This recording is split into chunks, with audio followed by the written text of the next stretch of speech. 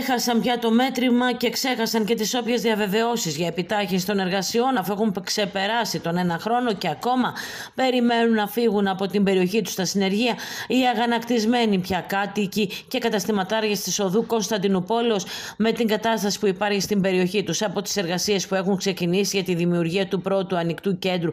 εμπορίου της Πάτρας να έχουν χτυπήσει κόκκινο. Οι εργασίες όπως προείπαμε έχουν αρχίσει εδώ και πάνω από ένα χρόνο και αφορούν στις παρεμβάσεις που είναι να γίνουν στα πεσοδρόμια της Κωνσταντινούπολης για την αλλαγή της αισθητικής και της εικόνας της περιοχής πάντα στο πλαίσιο του Open Mall. Το ζήτημα όμως είναι ότι ο ανάδοχος που έχει αναλάβει το έργο προχωρά τις εργασίες με ρυθμούς χελώνας με αποτέλεσμα τα καταστήματα της οδού Κωνσταντινούπολης να είναι σχεδόν απομονωμένα καθώς σε πολλά σημεία η πρόσβαση έχει αποκοπεί.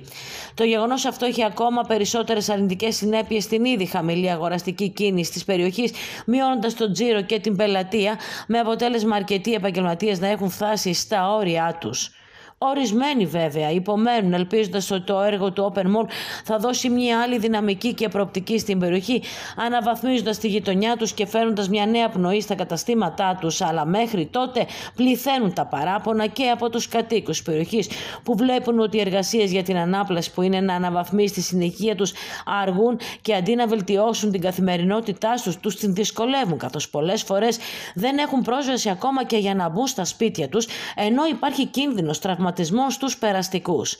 Οι παρεμβάσεις αυτές θα πρέπει να πούμε ότι είναι στην αρμοδιότητα του Δήμου, παρόλο που το Open Mall είναι ένα έργο που κατά βάση σχετίζεται με τον Εμπορικό Σύλλογο. Όμως και ο Εμπορικός Σύλλογος που παρακολουθεί τις εργασίες έχει εκφράσει τη δυσανασχέτισή του για την πορεία των εργασιών που δεν έχουν τέλος.